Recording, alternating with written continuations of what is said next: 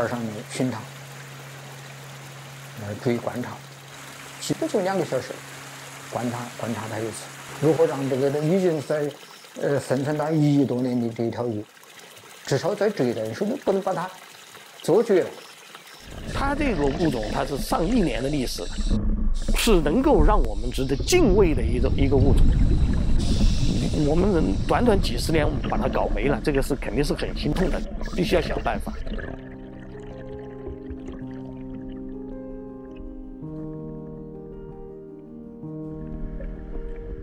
The Chinese sturgeon born in the Yangtze River were previously an indicator of the good health of the Yangtze River ecosystem. There used to be tens of thousands of these fish called Yangtze River Fish King.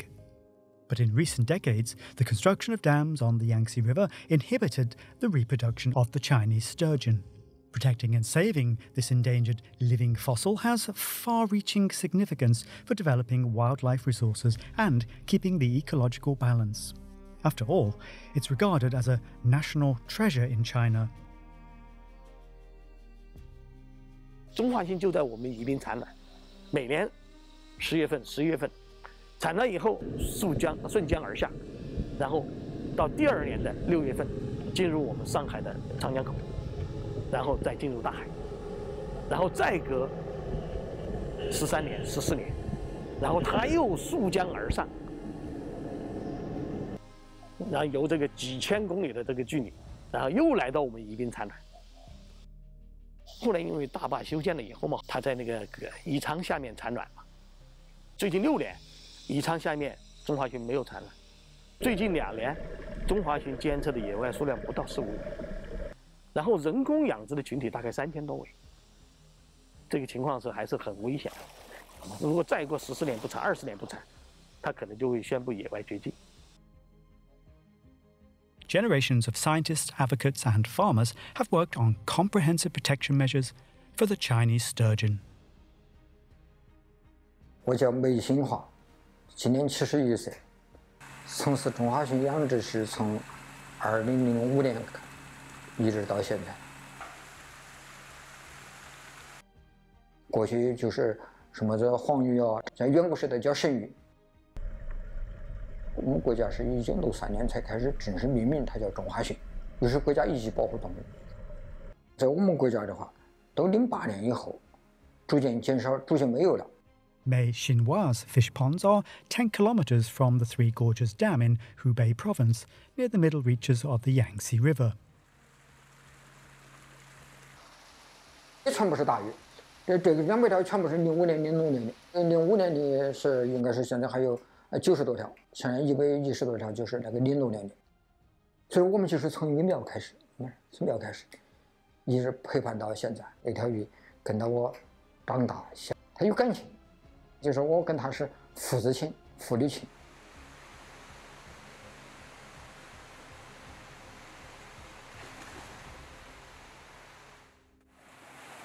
中华鲟对水质的要求特别高，特别是用氧这一块在小鱼池里用那个纯氧投资供氧以外，还有这个液氧，啊，液氧是最好的。就是还有个水温，嗯，一般情况下就是说。this was among the key reasons it was quite difficult for Zhou Liang and his father, the founder of the Yibin Institute, to raise Chinese sturgeons in the beginning. 我父亲是在一九九二年，呃，筹建的这个这个宜宾珍稀水生动物研究所。当时成立的宗旨呢，是保护和开发长江上游的这个珍稀鱼类，为这个民营力量、民间力量参与这个国家这种珍稀鱼类保护，探索一条路子。中华鲟，我们是一九九二年从 长江中下游引进了五十尾。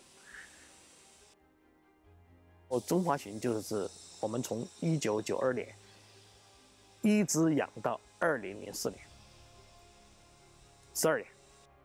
They went against the odds, though, in pursuing freshwater cultivation, as some experts argued against taking the sturgeons away from their natural habitat in the ocean. 通过精心的培育， 然后通过这个环境条件的这个水温各方面的环境条件的改变，零四年紫玉带全国第一次产。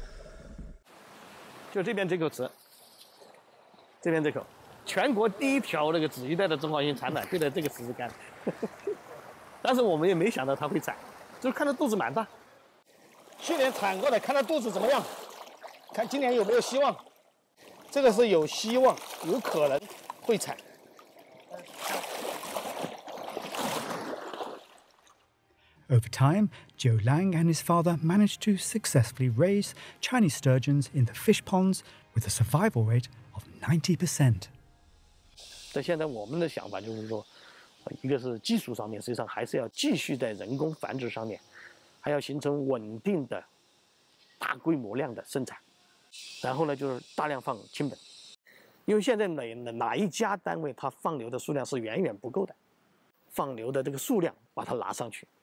达到百万量级，甚至千万量级，我相信中华鲟可能还是有恢复的一天。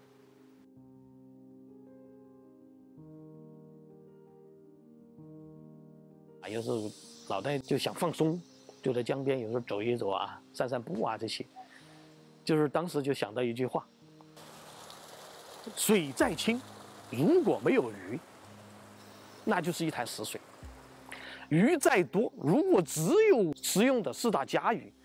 没有那些稀奇古怪、千姿百态的长江的这些精灵，这些丰富这个多样性，长江就没有色彩，没有灵魂。